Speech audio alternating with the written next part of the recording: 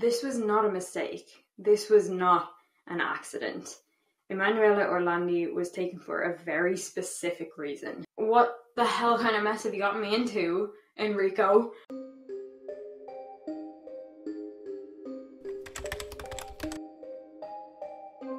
Hey guys, welcome back to my channel. If you're new here, please do subscribe.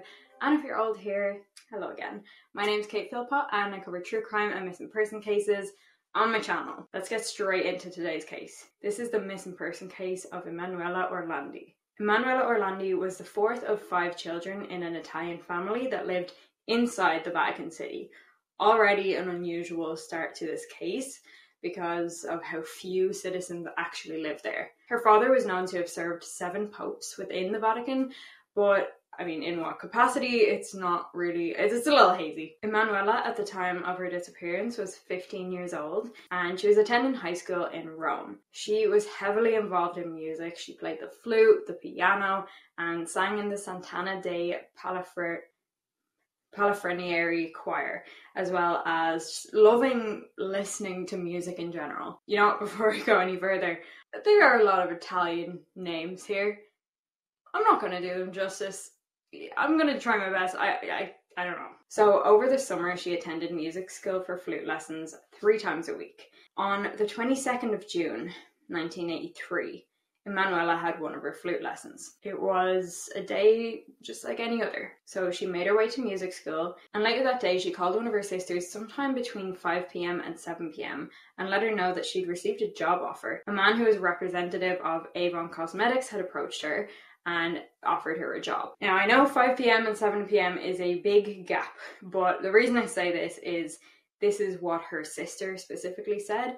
Uh, 5 pm is significant because that's when her music lesson was, apparently. 7 pm is when she was supposed to meet up with her sister, but we'll get to that in a second. So that's fine, right? She got this cool job offer, and what 15 year old doesn't want a little bit of money for themselves? She told him she would let him know once she asked her parents which is what she was trying to do when she called home that day, but her parents weren't home at the time and it was her sister who answered. So at 7 pm that day, like I said, Emanuela had plans to meet one of her sisters and some friends. The others arrived at the meeting place at 7 pm, but Emanuela wasn't there. Once half an hour had passed, and she still hadn't shown up. They assumed maybe she'd just gone straight home, maybe she'd forgotten about it, something like not too deep, you know. When her sister returned home and noticed that Emanuela had never actually come home that day, that's when the family began to worry. By 9:30, there was still no sign of her and they were in a complete panic. Bear in mind, they lived inside the Vatican City. Emanuela's music school was outside the gates of the Vatican City, and the Vatican closes its gates at midnight. So they didn't know if they should be looking inside the gates or outside the gates. Her family searched hospitals, they searched around Rome, they brought her photograph, but all of this turned up not a single clue. So the following day, they reported her disappearance to the police. And ugh, the police told them, ah, wouldn't worry about it. She's not really pretty enough to have been abducted. Ew. And, you know, she probably just ran away, no big deal. So at 6 pm on the 23rd of June, that same day that Emanuela was reported missing, a mysterious phone call came in. The person on the phone claimed to be a 16 year old boy named Pier Luigi. And according to him, right, he and his girlfriend met Emanuela that afternoon in the Piazza Navona. Only he didn't use the name Emanuela.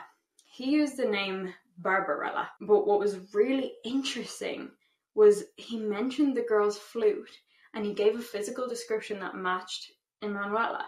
He claimed that this girl had just had a haircut and that she had run away from home and was selling Avon products. So, generally, when physical descriptions match, that doesn't really do much in my brain unless it's something super specific. But how specific is this comment about Avon? Like, she had told her sister, Oh, yeah, I got approached by a guy who wants me to do this Avon thing. And now this person on the phone is mentioning Avon specifically. So, if there is some truth to what he's saying, let's just look at this for a sec, right? Why would she run away from home? Generally, teenagers will run away if things are just too overwhelming or something really bad is happening. So uh, was there like was there something really bad going on? As a 15 year old girl, there are so many emotions and hormones rushing through your body at a great rate, and it may not even look like anything is really going wrong from the outside looking in, but maybe she was struggling with something. Five days later, then, on the 28th of June, another phone call came in. But this time it came directly to the family. This man said that his name was Mario and that he owned a bar near Ponte Vittorio, which was between the Vatican and her music school. Okay, he said that a girl called Barbara, a new customer of his, had told him she was a runaway, but that she would return for her sister's wedding. Because allegedly her sister was getting married in September and Emanuela was to play the flute at the wedding. He mentioned that she was a good looking girl with dark hair and that she was going to be doing something for a concert for school, but this time she was going to be singing rather than playing an instrument. This was true. She was set to sing in the choir for this concert, and those details hadn't been released publicly, so it seems kind of legit. On Sunday, the 3rd of July, then, Pope John Paul II appealed to those responsible for her disappearance. But Emanuela was missing, yes, but there could have been a number of reasons for this. And kidnapping or having some one or some group of people responsible for her disappearance is only one of many potential causes. Two days after this, the Orlandi family received a number of anonymous phone calls stating that Emanuela was a prisoner of a terrorist group that were demanding the release of Mehmet Ali Ağca. Now, this was a Turkish man who was imprisoned for shooting the Pope in May of 1981. Ağca had started to open up about who informed him to try and kill the Pope, and without going into the nitty gritty, honestly confusing details, it seemed that whoever did get him to do this wanted to silence him, which could only be done by freeing him. Soviet Union.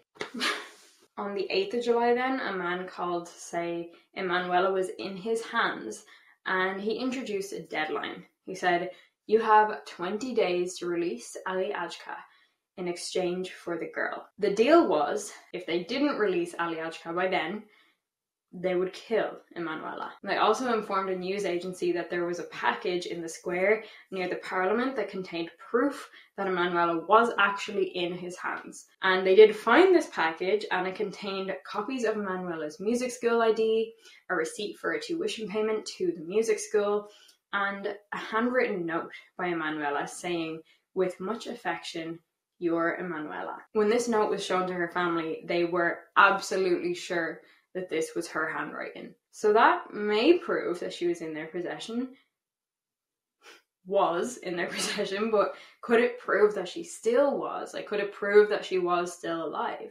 A lot of question marks about that. So, another phone call came in then that was from a man who ended up being dubbed the American due to his accent, naturally. 16 calls were made from the American from different public phone booths, and in one of these calls, he played a recording over the phone of Emanuela's voice, or at least what he claimed to be Emanuela's voice. But when her family actually heard this recording, they did not have a single doubt that this absolutely was her voice. It gave them chills to hear this voice because that is one of the first things that you forget about someone. This was a few weeks after she went missing.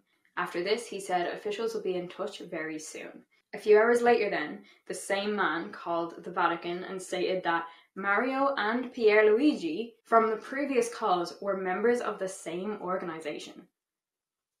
What the hell is going on here? There is so much that's intermingled but not. I there's uh, and we're really only getting to the very, very, very beginning of it. But let's bring it back to this deadline that had been set from the alleged kidnappers this 20 day thing, right? When these 20 days came to an end and it was deadline day, there was huge suspense in the air. Like the expectation was that they would find Emanuela's body somewhere. A call came through that morning around 10:30 a.m. from the American saying that she was very much alive and he was asking for a gesture to resolve matters because remember there was that whole thing with Ali Ağca and he said, You only have a few hours left. But they didn't release him. But they also didn't find Emanuela that day. In essence, nothing really happened on that day, at least as far as we know. Now, as time moved on, more and more groups began to claim responsibility for kidnapping Emanuela. And obviously, not all of them could be telling the truth, like, it doesn't make sense. But my question is what if none of them were? I know Pierluigi and Mario and the American were doing this at the very beginning, but what if they were just the first to think of it? But then I suppose they did have insider knowledge.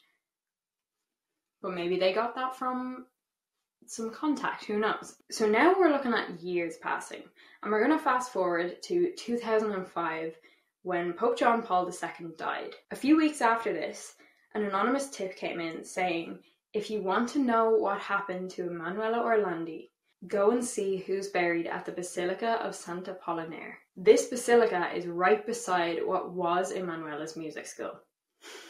When this was investigated, an Italian crime boss was buried there, Enrico de Pedis, one of the heads of the Banda della Magliana, which was strange already because you can only be buried in this place if you got special permission or you paid a very big favor to the Vatican.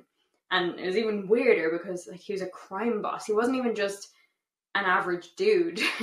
he was a, a bad dude. But it is important to note that he did have very strong connections with important people in the Vatican. This leads us to somebody else who began to speak out, called Sabrina Minardi, who was Enrico de Pedis' lover at the time of Emanuela's disappearance. Now, I know this is getting a little confusing, there's a lot of people, so if you have to take notes on your phone, do it because it is worth it the amount of like connections and weirdness that goes on in this case, or that seems to, or maybe definitely does. I, I don't know. so, according to Sabrina Minardi, right? De had her allow this young girl to stay in her house for a few days. Okay, he basically begged her, like, right, it's just gonna be for, for, a few days, just we need to keep her somewhere, okay? It's ended up being 10 full days, and during that 10 days, a woman called Adelaide would come over and take care of this girl, right? Feed her, wash her, and continually drug her to keep her calm and quiet because she was she was locked in a room and not allowed to escape. Naturally, sharing a house with this girl, Sabrina became very familiar with how she looked, and it really didn't take her long to realize that this was Emanuela Orlandi. Her response was like, What the hell kind of mess have you gotten me into, Enrico? She was not for it at all, but at the same time, this was kind of a lot bigger than her. But after these 10 days, this girl was moved to a house in Monteverde, which had, quote, huge basements. And Sabrina was told to go to some bar, pick up this girl, and bring her to this petrol station in the Vatican. And she was told that at the petrol station there will be a person with a Vatican City license plate who will take her and deliver her to the next place or to the next person. She thought about letting her go free, but what she said was that she just couldn't possibly out of fear for her own safety and the fact that this was so much bigger than her. But who knows? I mean, it feels like a such a lost opportunity there. But when she drove her to this place, right, it was a priest that got out of this car, the other car with the Vatican license plate. Or, okay, it was a priest or somebody who was dressed as a priest, right? We don't know if it was an actual priest. And that was kind of the last she had seen or heard of this girl. Okay. What I will say is this is just Sabrina Minardi's story, right? Like, there's no proof of any of this, although after some investigation, certain things that she had said were actually found to be true, specifically about this second location um, in Monteverde, this apartment. And within this apartment, apparently a wall had been built, creating a secret room. the perfect place for a secret prisoner. Huh?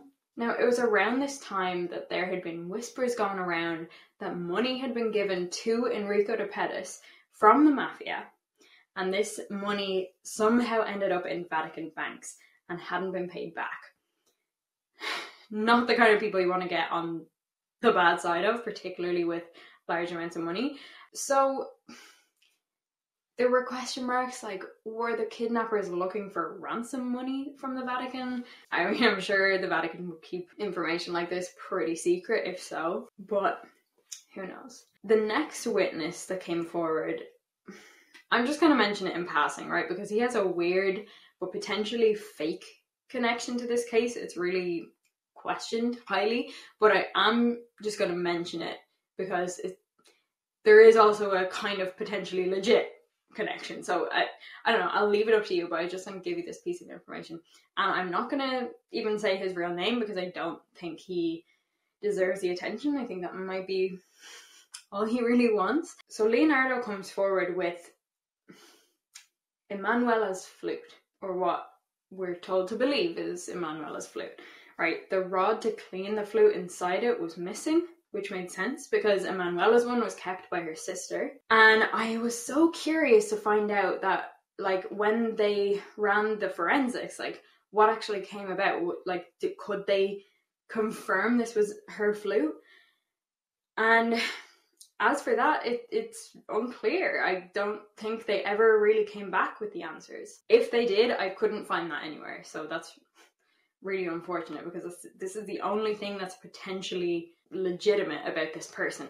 But what I will say is, it is widely believed that this was in fact Emanuela's flute. But just keep that in mind, okay? So Leonardo claims that he was the American from way back when. And he was so disgustingly smug in announcing that. Like, he was like, yes, I was responsible. I created the Orlandi case, like as if it was something to be proud of creating. And according to him, Emanuela was tricked into coming with the kidnappers, being told that they needed to stage a fake kidnapping in attempt to save her father from losing his job. And this fake kidnapping was just going to be for a few days, but in actual fact, it turned into a real one. Like, weird, weird story. Doesn't really make a whole lot of sense. But through a ton of media attention and even meeting with Emanuela's brother face to face, he couldn't really provide any proper information. Like anything that hadn't been publicly released. Anything he was questioned on, he was like, oh, well, I mean, you try and remember, it was so long ago. yeah, but that's not good enough here. Like, we need you to prove that you are actually legit in what you're saying right now.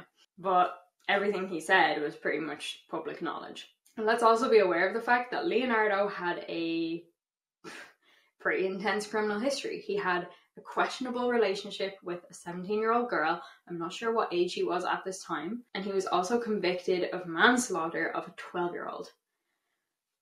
So, you know, how much do we really want to believe someone like this? And when he was investigated properly, digital forensic experts compared his voice with the recordings of The American from back in July of 1983.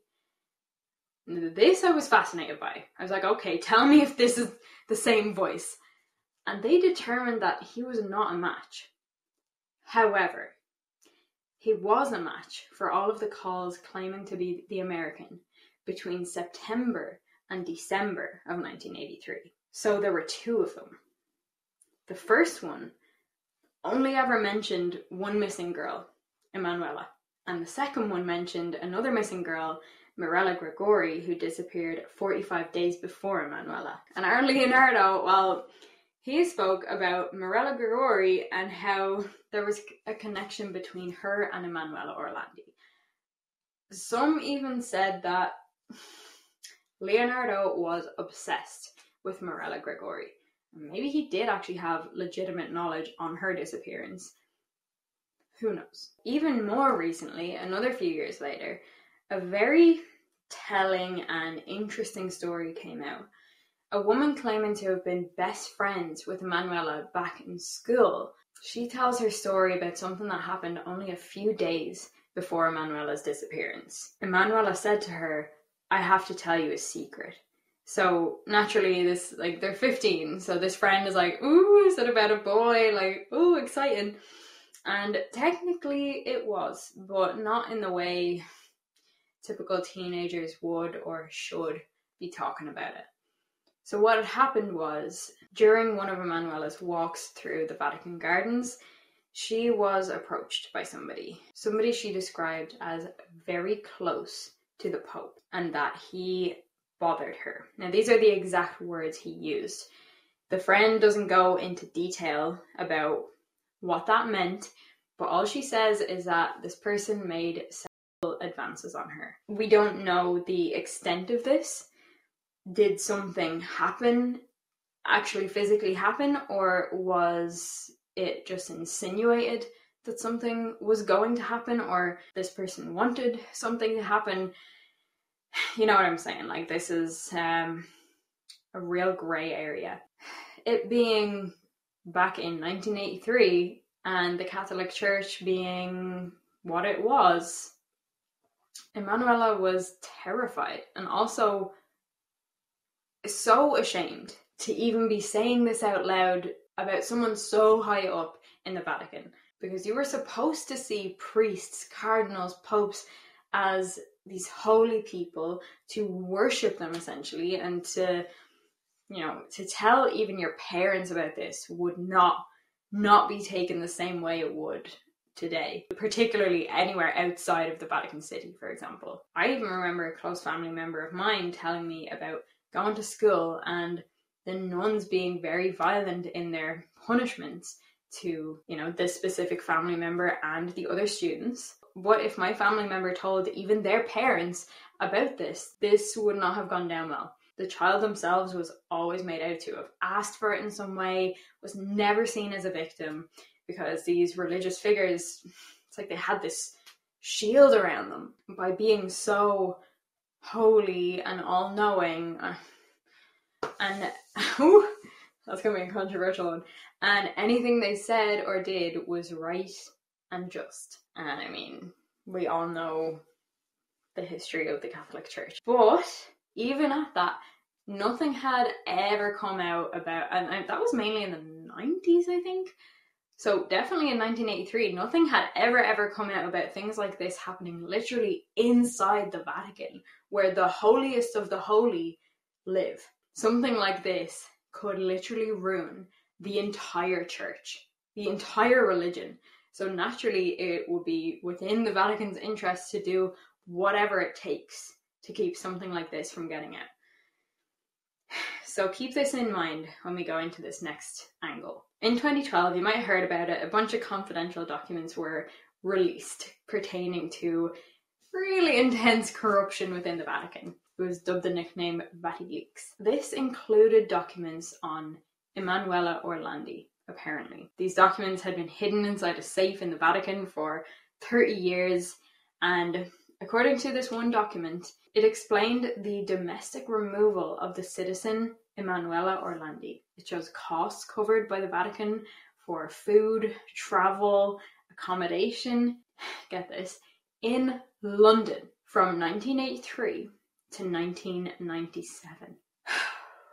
Just got chills. There was also an address documented in there which turned out to be a youth hostel for girls in London, which was owned by a religious Catholic congregation with an extremely strong connection to the Vatican. And the final expense in there was for, and I quote, general activity and transfer to the Vatican City State with relative handling of the final paperwork which sounds like sounds like she had died in London and someone brought her body back to the Vatican, which is not that big, which means it was only going to be maximum what a, a few hundred meters from her home.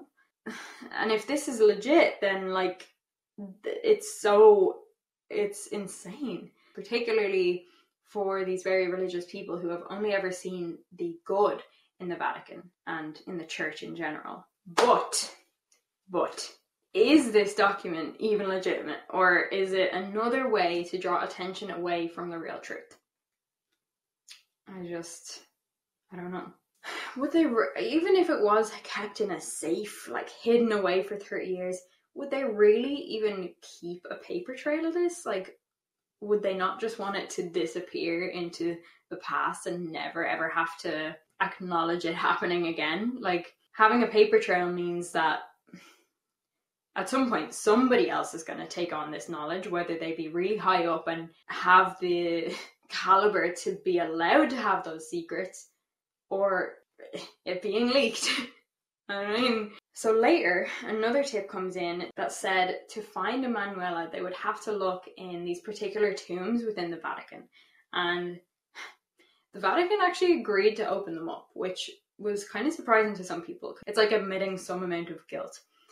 However, absolutely nothing was found in these tombs, which was particularly strange because there were, I believe, two tombs that were opened up, and in one of them there were said to be princesses that were buried there.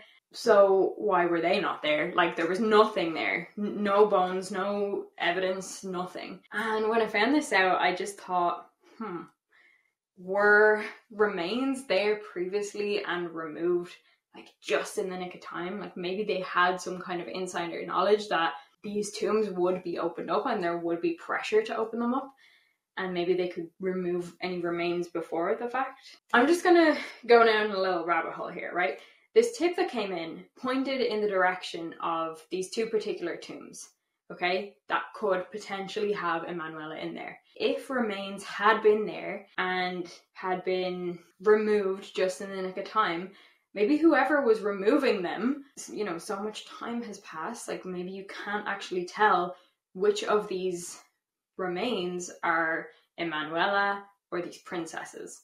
So maybe it was just safer to remove them all. Have no idea, gonna put it out there. And then I thought maybe with the Vatican agreeing to open these tombs, this was a way for them to pretend they're cooperating when they knew actually nothing was in those tombs and nothing could possibly come out. This is mad, right? Another thing that happened way back on the very day Emanuela disappeared, a phone call came in to the Vatican press office from a mysterious man claiming responsibility for the kidnapping of Emanuela Orlandi and immediately blackmailing them for money. And this call came in on the day she disappeared.